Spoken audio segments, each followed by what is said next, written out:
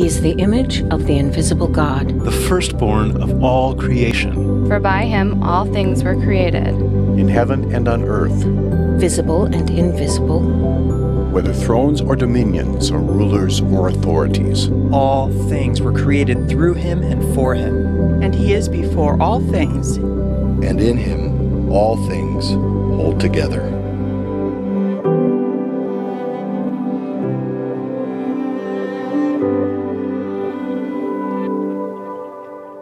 Some of you may be wondering who's up here preaching to you.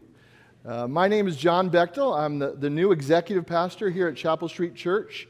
Uh, I've been here for three months. What is an executive pastor? Well, I work with Pastor Jeff to maintain and develop the vision for who we are as a church and who we are as a people, and then I, I work with the staff to make sure that we're executing that vision so that you, the people of Chapel Street, can make an impact in your world. So, that's a little bit of what I do. I've been here for three months, so I have it all figured out. That's a joke. Thank you for laughing. I appreciate that. We're, we're in the process of uh, figuring all things out, and I've been very grateful for the way that my family and I have been welcomed uh, by, by you, the body of Christ, here in Geneva. Um, to give you a little background about myself, I spent the last 13 years before coming here serving as an executive pastor in Evanston, Illinois. Our, our church was two blocks from Northwestern, so you can imagine our, camp, our, our church was full of students. Um, for the 11 years uh, prior to that, I was working in Christian higher education, serving in student development and administration. So, um, so I have a lot of student, uh, student life in my background. And all along those uh, 24 years, the Lord has uh, gifted my wife and I with four daughters. So uh, my life is uh, inundated with students, and it's been a, been a joyful ride to uh, just to be with students, to experience their, their joy for life and uh, their zeal for, for uh, doing what is good.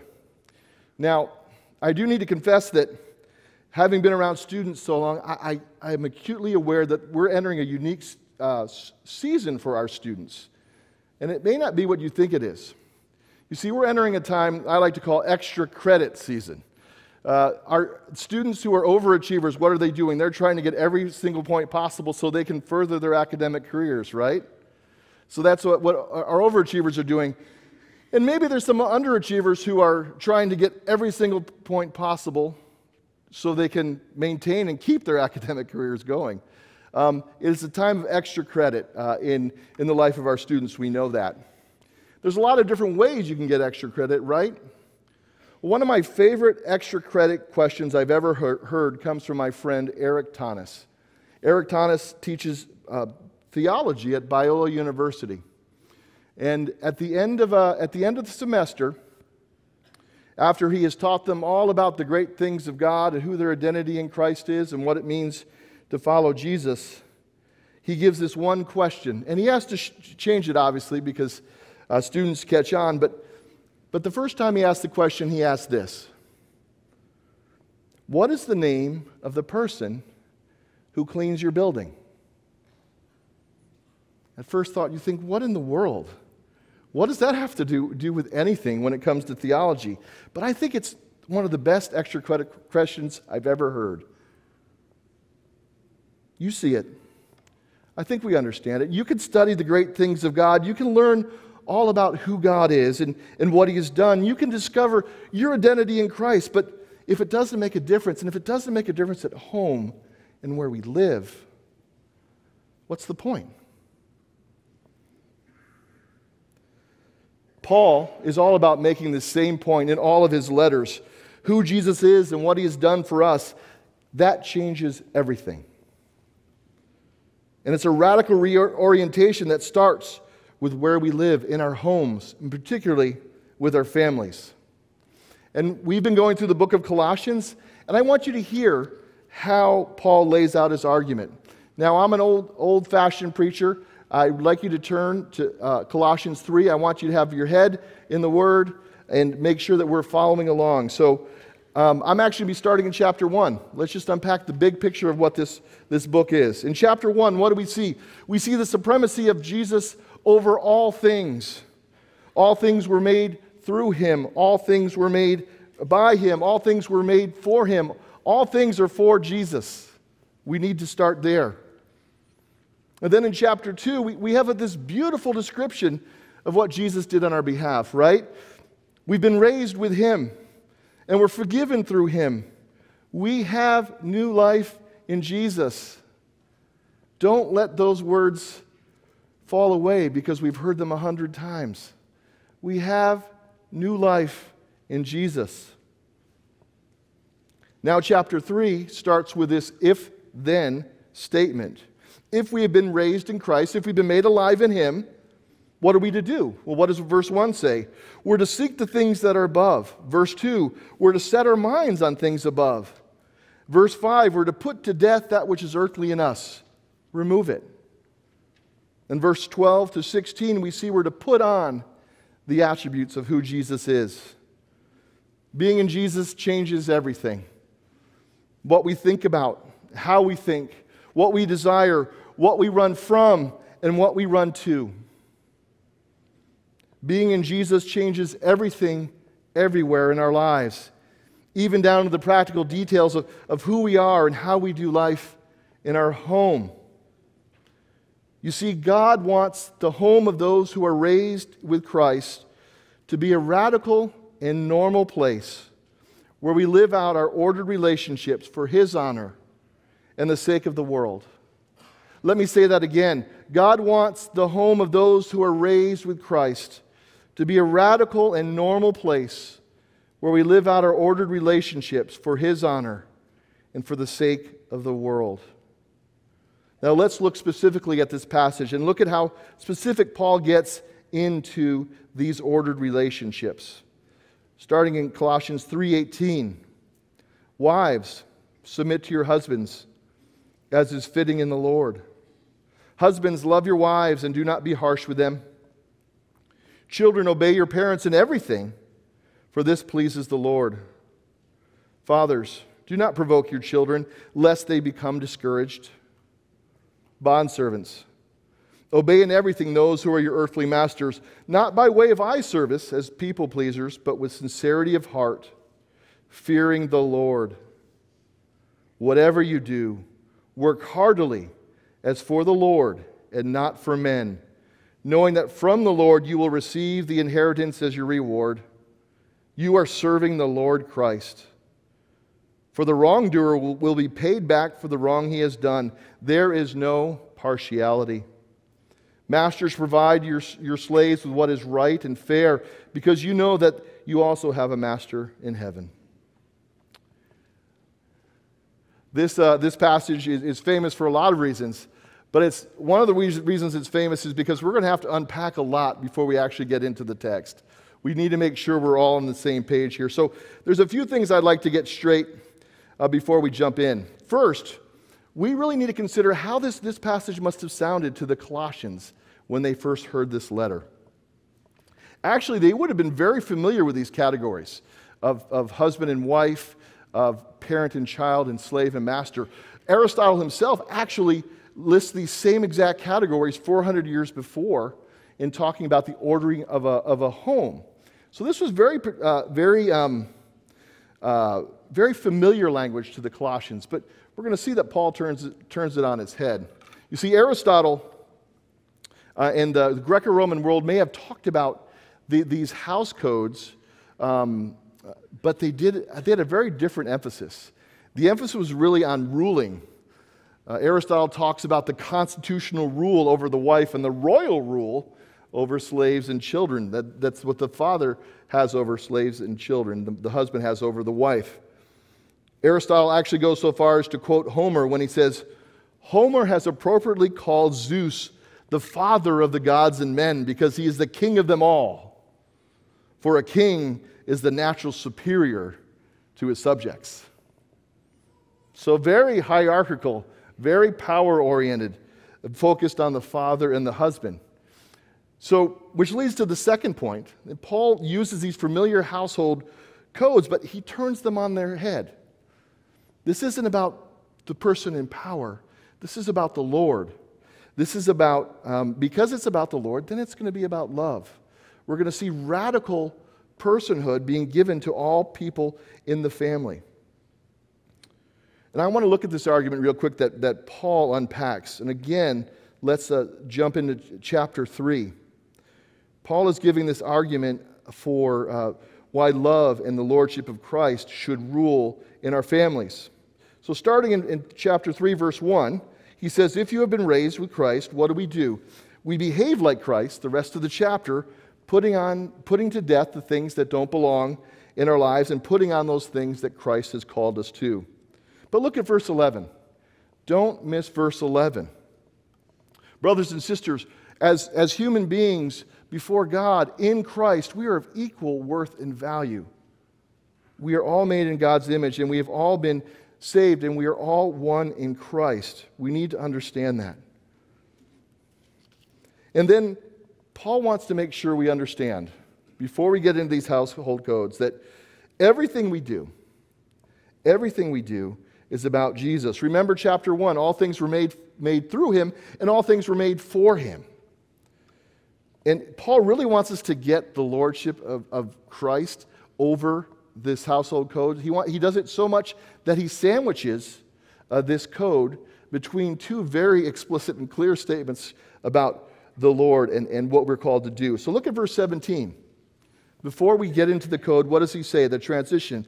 He says, Whatever you do, in word and deed, do everything in the name of the Lord Jesus, giving thanks to God the Father through him.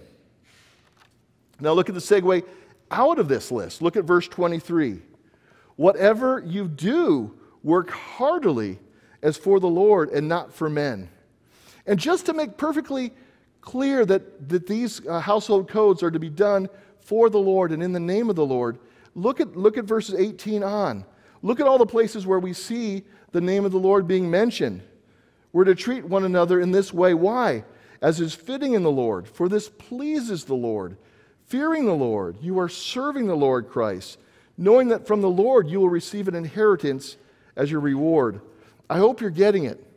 The family life is to be lived through Jesus, it's to be lived out like Jesus, and it's to be lived for Jesus. Paul wants to make sure we get this point. Being in Jesus changes everything.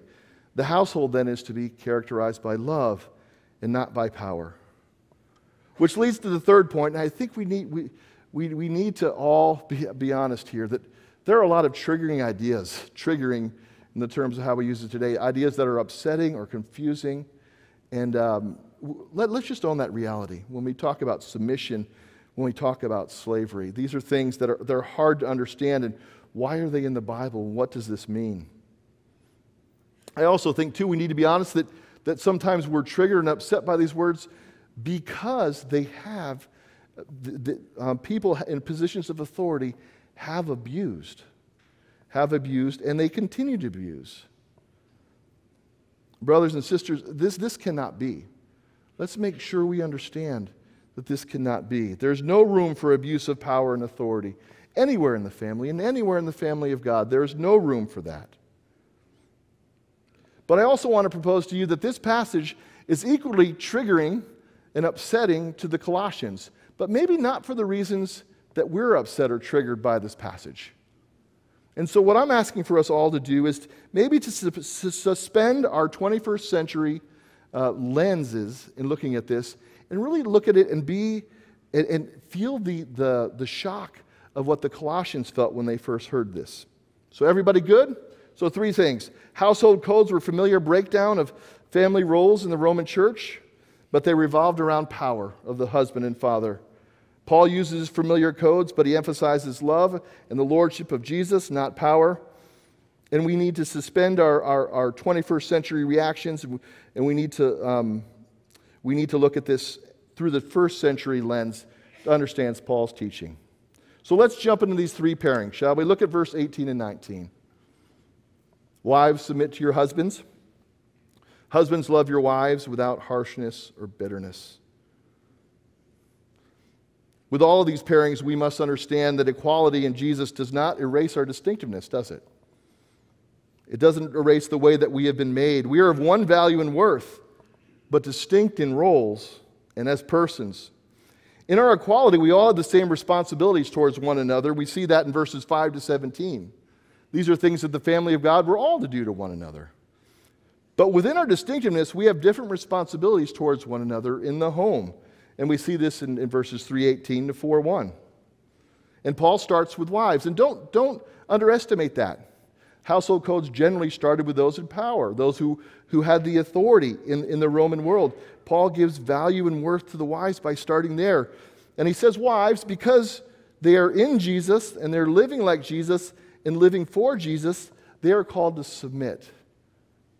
Well, this simply means to order themselves under their husband.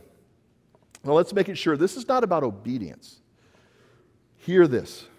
This is a willful decision made by a co equal to align herself with and respect her husband. And it's something that's done that's fitting to the Lord, it's done in submission to Jesus. One of the best definitions of this type of submission I've ever heard was, was from my dad.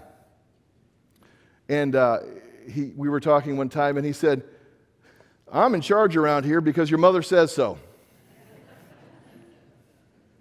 now, I don't think we can say that headship is strictly about being in charge. That's not the point here. But when it comes to this idea of submission, of ordering under, I hope you can see there's power in, in what my mom did of willfully submitting herself in, in the, uh, in, in the roles. This never means strict obedience. I want to make sure we hear that. This is about an ordered sharing of responsibility in the home. Now let's turn to husbands. And this is where the shock is. I want you to hear this. The shock for the Colossians would have been in what the husbands were called to do because there's nothing about uh, practicing your authority or, or being in charge or being in control. No. This would have been radical for the Colossians to hear that husbands are, are, are called to love. And more than that, the, the love is supposed to be characterized by no bitterness, no harshness. And husbands, because they are in Jesus and living like Jesus and living for Jesus, are called to just that to love with gentleness and patience. Paul's shocking here again because he's, he's indicating that, that male headship is present, but it's, it's a headship that models the headship of Jesus. Let's never forget that. And what did Jesus do? He came to serve, to sacrifice, and to die for the sake of others. That is what is meant by a call for a husband to love his wife. Now, now think about it. When lived out together, this pattern of service and sacrifice, it doesn't only lend itself to creating a, a home of, of peace and mutuality, right? It doesn't just end on the home, but it demonstrates Jesus to the world. Think about this. What did Jesus do? Didn't Jesus submit himself to the will of the Father? Yes. And didn't Jesus give his life in sacrificial service to all for God's sake? Yes. I like how the scholar Scot McKnight puts it when he says, Wives serve husbands, and husbands sacrifice themselves for their wives because that is what love means submission and sacrifice. That is who Jesus is and what he has done on our behalf. And we can live that out in our homes, and there can be peace and there can be mutuality. But don't forget, we are, we are showing the world that Jesus is real. Paul immediately jumps from pair to pair, so we're going to do the same thing. Living out our God given roles also pertains to parents and to children. Look at verses 20 and 21. Children, you're called to obey their, obey their parents. Now, again, this is shocking. Children are being given personhood in this world. That wasn't something that happened. They were, they were being treated as fully responsible persons. And it's a call is simple the call is to obey. It echoes the fifth command, right? To honor your father and mother. What does obey mean? It means to follow the rules. That is what children in the home are called to do. Now, it's not about following rules that are oppressive or danger, endangering or abusive. It's about following parents who are in the Lord, who have been raised with Christ. And again, more shocking here is a reference to a parent's. The parent's job isn't to, isn't to discipline and to exercise authority. No. The parent's job is to what? To not provoke their children. Parents, because they are in Jesus and living like Jesus and living for Jesus, will not embitter or exasperate or, or cause their children to lose heart. Paul's saying this. He's saying, don't parent your children in a way that will promote rebellion or resentment. Show them what it means to be raised with Christ.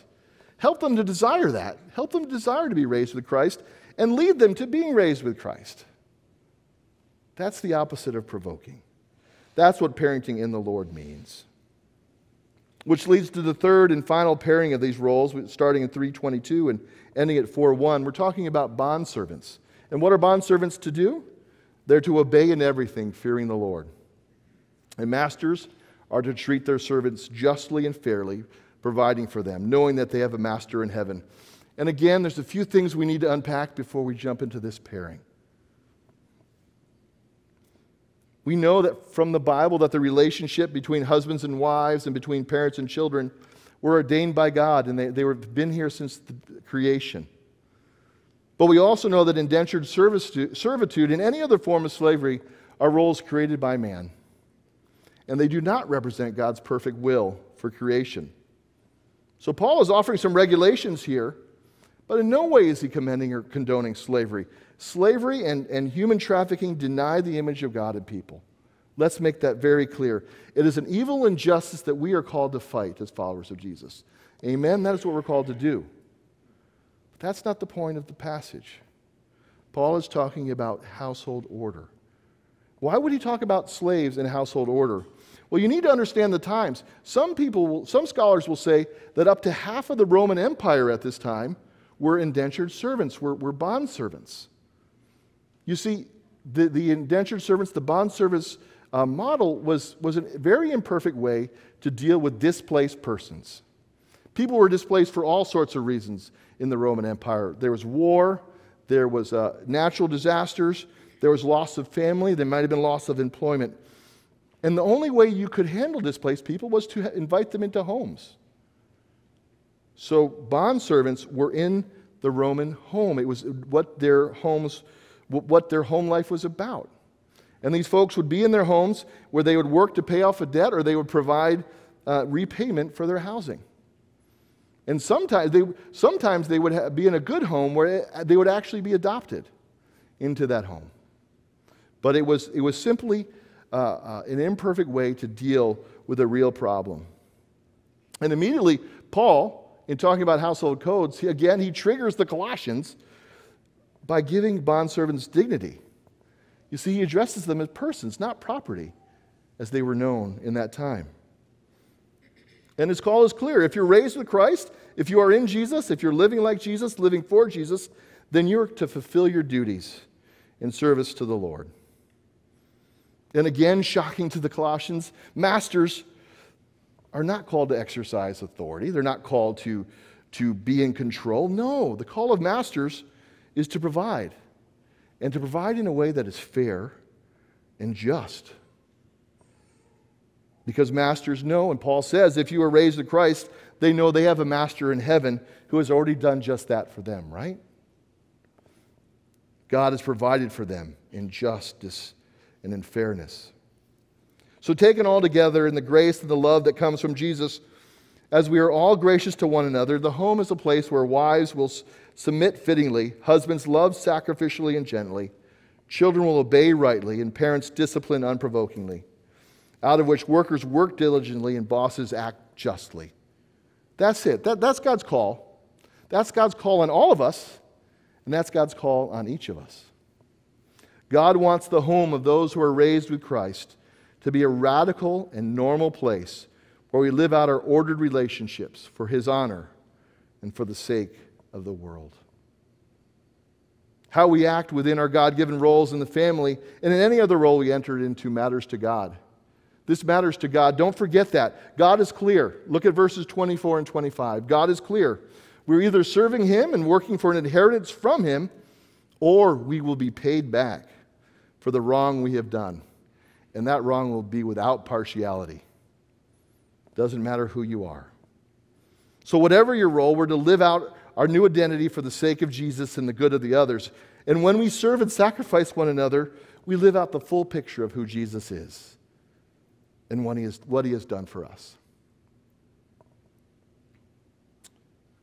So, what do we do with all this? What do we do with this passage that was written to this Colossian church about how they should interact with each other within the family.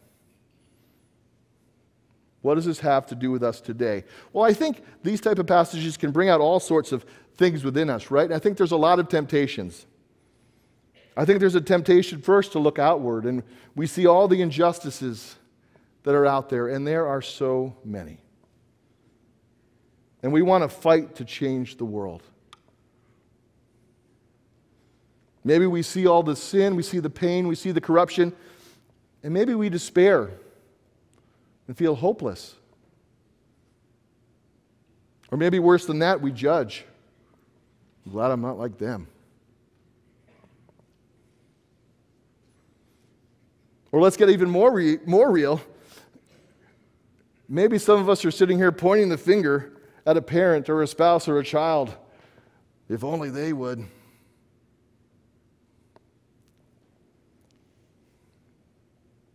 Yes, the Bible calls us to fight injustice and to lament over sin, certainly. And God's word tells us not to judge others and to remove the log out of our own eyes before we judge. But I don't think fighting or lamenting or not judging are the main takeaways for us from this passage. Family of God, this is an intensely personal call for those of us who are in the Lord. This household code is about me it's about you. Jesus in his gospel gets at each of us right where we live. So, what's the call from this passage? Well, it's a call to each of us. Husbands, are you, are you, are you loving your wife? Are you being gentle? Gentleness, gentleness simply means power under control. Are you being gentle in your home? If somebody asked her, if she felt loved by you and safe around you and seen by you? What would she say in a safe place? Would she say that you're giving your all and sacrificing yourself for the good of, of your, your family and for her? That's your call as husbands. Wives, does, does your husband feel seen by you and supported by you? Cared for by you and served by you? Does he really believe that in his heart of hearts? Parents, are, are you loving your children and not being harsh with them? Is your discipline and correction, which needs to be there, is it pointing your children towards Jesus or away from him?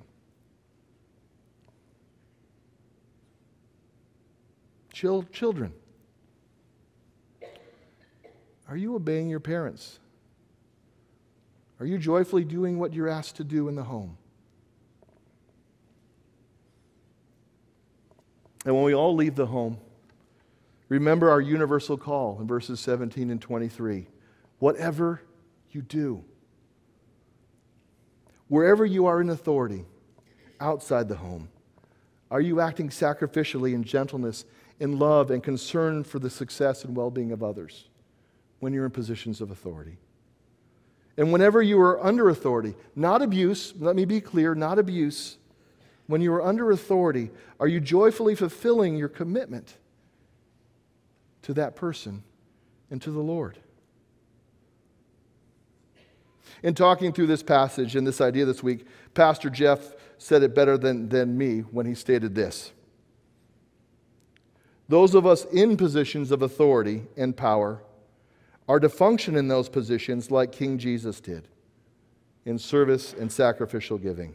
Let me say that one more time. Those of us in positions of authority and power are to function in those positions like King Jesus did in service and sacrificial giving. And those under authority are to live like King Jesus did in joyful submission and faithful obedience. Those of us under authority are to live like King Jesus did in joyful submission and faithful obedience. Now, I don't want to get in the game of prescribing what exactly it looks like for you to do these things in your home and in your world. But I do think a good exercise for us all is to go home and in our families talk with our spouses, talk with our children, maybe talk in our places of employment, talk with one another. Ask those who you live with and do life with if they are experiencing the love and the goodness of Jesus. If they are experiencing the submission and the self sacrifice of who Jesus is. Oh, that in every role I find myself, and that every role you find yourself, that we would do everything in the name of our Lord Jesus, working heartily as unto God and not unto men. May that be so of me, and, and may that be so of us. And may it help the watching world turn to Jesus. And may his name be praised. Amen and amen. Let us pray. Gracious Heavenly Father, thank you for your word. It is so practical and clear. And thank you for, for Jesus who, who submitted himself to you and came to sacrifice for us all. Father, thank you that we have the opportunity to worship him and be with him forever for what he has done on our part. Help us to show the world that Jesus is real in the way that we submit and serve and sacrifice for one another, specifically in our homes and in the world at large. Father, do this work in our lives, do this work through us, and may the fame of your name grow. It's in Jesus' name we pray. Amen.